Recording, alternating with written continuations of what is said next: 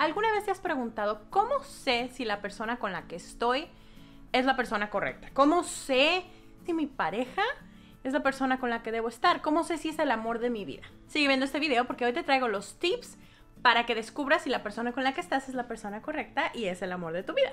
Vamos a empezar. Vamos a volver al tip del video pasado. ¿Cómo te sientes sobre ti misma cuando estás con esa persona? Digamos que ya viven juntos, ya tienen una relación de largo plazo o, simplemente llevan varios años juntos. ¿Cómo te sientes sobre ti misma cuando estás con esa persona? ¿Te sientes bien? ¿Te sientes motivada? ¿Te ayuda a alcanzar tus metas? ¿O te... A lo mejor a veces hasta inconscientemente o un poquito más sutil, no es tan obvio, pero te baja tus ilusiones, te baja tus metas, te dice, no, mejor ponte a estudiar otra cosa o no te apoya 100% o sientes tú que no te apoya 100%.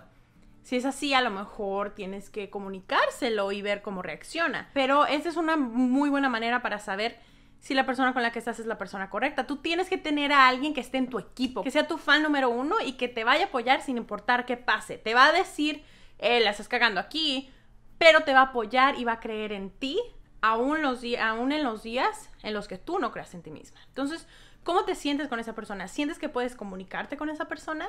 ¿Sientes que puedes abrir tu corazón y ser vulnerable con esa persona? Decir, hoy me siento de la fregada, hoy me siento muy bien, hoy me siento feliz, gracias por esto, o hoy simplemente estoy de malas y dame chance.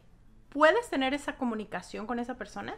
¿Te sientes bien de que no, no importa cómo esté tu estado, si lo comunicas, se puede solucionar? Esa es una muy buena manera para saber si es el amor de tu vida y es alguien con el que quieres pasar el resto de tu vida. Y ahora, para mi tip número dos, hay una teoría de los porcentajes en la vida. No todo en la vida puede ser 100% feliz, porque no habría complicaciones y no habría crecimiento, pero no todo en la vida tiene que ser 100% miseria. Entonces, tú escoges qué porcentaje en tu vida quieres de felicidad, específicamente en la relación. Mi porcentaje es 80-20. ¿A qué me refiero con eso? 80% de mi relación tiene que ser buena y 20% estoy dispuesta a tolerar. Ese 20% son cosas, por ejemplo, el 80% del tiempo en mi relación estoy feliz, estoy contenta, me río, me siento amada, lo amo, hay comunicación, nos abrazamos, nos besamos, nos queremos. 80% del tiempo. Pero también vamos a ser realistas. Eso no puede ser todos los días. Obviamente va a haber días en el que no nos sentimos bien, en el que la otra persona esté estresada o cosas así. Entonces, para mí es un 20%. Y ese 20% son cosas que me molestan o cosas que no me laten o cosas que a lo mejor no me caen tan bien de la persona o no me gustan de la persona. Puede ser, no sé, que, que no baja la taza del baño, que... Mm, se despierta muy temprano, se duerme muy tarde o ve la tele muy alto. Cosas que sean simples, cosas que no vayan en contra de nuestros valores. Si ese 20%, si hay una cosa que no nos gusta, pero va en contra de nuestros valores y de lo que es importante para nosotros en una relación, entonces ahí hay un problema. Paréntesis, ¿cómo puedes descubrir tus valores en tu relación? Haz una lista de lo que es importante para ti en una relación y las cosas que no podrías dejar pasar y que no podrás vivir sin o con. Lo que sea que sea para ti. Entonces, si ese 20%, aunque sea una sola cosa o dos cosas, va en contra de tus valores, de lo que tú consideras importante en una relación, no va a funcionar o va a ser más difícil y vas a tener que trabajar más en hacer que funcione. Y para mi tip número 3, tengo que decirte algo. Tengo que darte la mala noticia. La mala noticia es que no hay un amor de tu vida. No hay uno solo. No hay the one. No hay the one. Existe la persona con la que queremos estar. La persona con la que decidimos estar todos los días y la que queremos amar. Solo existe la persona correcta en el momento. Existe Mr. Right Now. Existe la persona que quiero amar hoy y cada día. Y el amor es algo... Tenemos que recordar que el amor no es una cosa que tenemos o no tenemos. Es que ya no tengo amor, se acabó el amor. A ver, hay que recordar las bases y el hecho de que el amor es un verbo. El amor es algo que hago. Yo elijo amarte. Entonces es algo que se puede cultivar y que puedes hacer todos los días. Y es algo que tienes que hacer todos los días.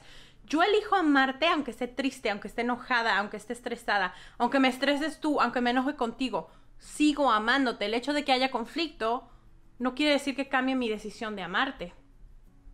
Ojo, para esta situación, o sea, para tener, para decidir amar a la otra persona todos los días, también tiene que ser recíproco. No puedes estar peleando tu batalla sola porque te vas a cansar y no vas a llegar a ningún lado. Es como estar peleando contra una pared.